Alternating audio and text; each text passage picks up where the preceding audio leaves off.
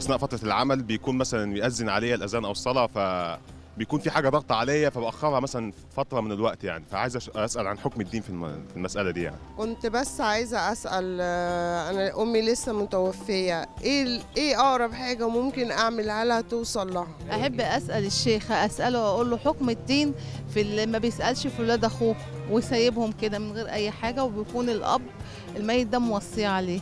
إيه حكم الدين فيه ده؟ بالنسبة للورث يعني هل يحق للإنسان إن هو لما يورث أي ورث أو أي حاجة هل الإنسان ممكن يحق من الورث دوت إن هو إن هو يزكي بيه أو يتصدق بجزء منه ولا إيه؟ بس هو ده سؤال يعني بالنسبة ل- لصلاة ال- الوتر ال- مثلا أنا صليت الشفع والوتر في العشاء فهل ينفع مثلا لما أجي أصلي بالليل هل ينفع أوتر تاني ولا أصلي ركعتين فقط لا غير؟ إحنا ما كدول عربية ودول منطقة الشرق الأوسط. ليه ما بنتفقش على مواعيد؟ بداية شهر رمضان وبداية آه، عيد الفطر المبارك. إحنا متفقين طبعا على الحج كلنا كأمة إسلامية لكن ليه ما بنتفقش على المواعيد؟ بحيث إن إحنا كلنا نبقى مثلا شعارنا أو ميعادنا واحد.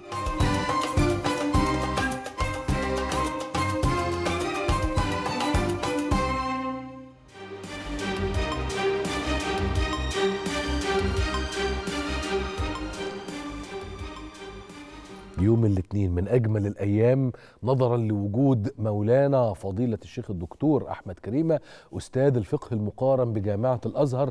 منورنا مولانا. بارك الله فيكم وأحسن الله إليكم. هبدأ بسؤال عجبنا مم. إحنا الاثنين يعني. الوالدة متوفية. نعم. ما هو أفضل شيء تقدمه للوالدة؟ بسم الله الرحمن الرحيم. آه هذا السؤال آه بيندرج تحت آه القربات وإهداؤها للموت.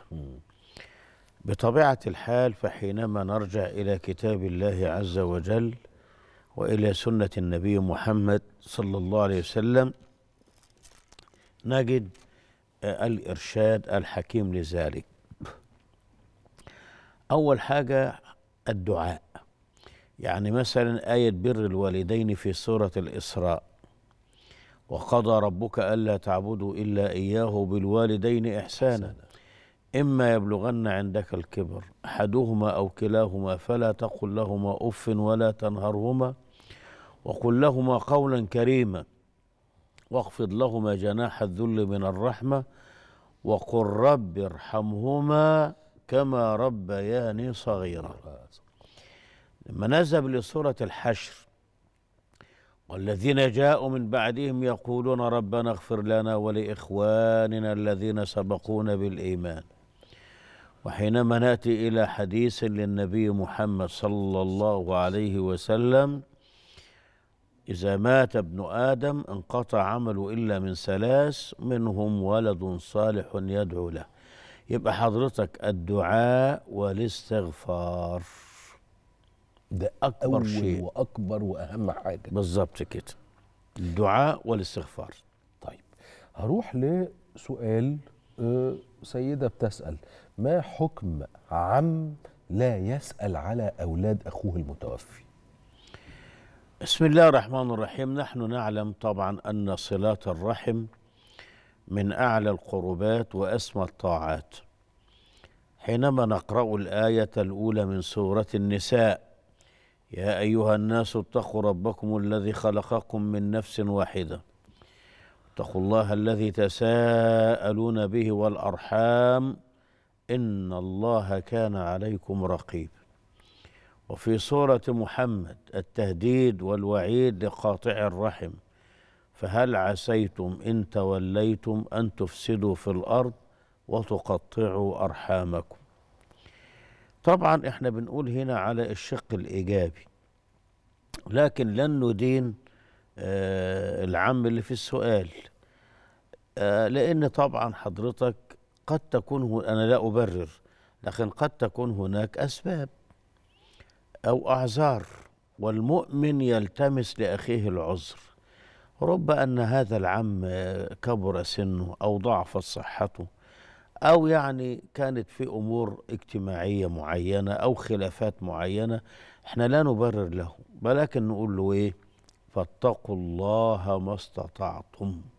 والإنسان يغالب الهوى ويصل رحمه لأن مما تعلمناه في صحيح البخاري لما خلق الله تعالى الخلق قامت الرحم فتعلقت بالرحمن جل وعلا. قال لها مه قالت هذا مقام العائذ اللائذ بك من القطيعة. قال الله تعالى للرحم ألا ترضين أن أصل من وصلك وأن أقطع من قطعك؟ نسأل الله الهداية للجميع يا رب. بأن يصلوا أرحامهم. يا رب يا رب ربنا يهدي الجميع. طب أنا هستاذن يا مولانا هنطلع لفاصل نرجع بعد الفاصل نكمل أسئلة مشاهدينا بعد إذنكم استنونا.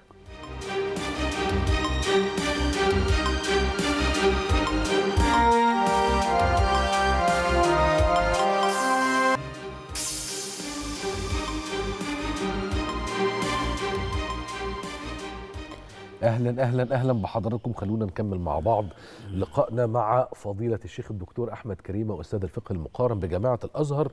سؤال هل من الممكن إن أنا أتصدق بالميراث أو أقدمه كله زكاة؟ بسم الله الرحمن الرحيم. آه لما مرض سيدنا سعد بن أبي وقاص رضي الله عنه وأرضاه عاده النبي طبعا زيارة المريض اسمها عيادة فعاده النبي صلى الله عليه وسلم وسيدنا سعد كان آه، أنجب بنات فقط. فقال يا رسول الله أتصدق بثلثي مالي؟ قال لا. قال بالشطر يعني النصف. قال لا. قال طب إذا بالثلث يا رسول الله. قال الثلث والثلث كثير لأن تدع ورثتك أغنياء خير من أن تدعهم عالة يتكففون الناس. يبقى هذا الحديث أصل أن الإنسان حضرتك يتصرف سواء وصية لأعمال خيرية لا يتجاوز الثلث إلا إذا أجاز الورثة. أما باقي التركة بتذهب لأن آه، ده من الحقوق المالية في الإسلام.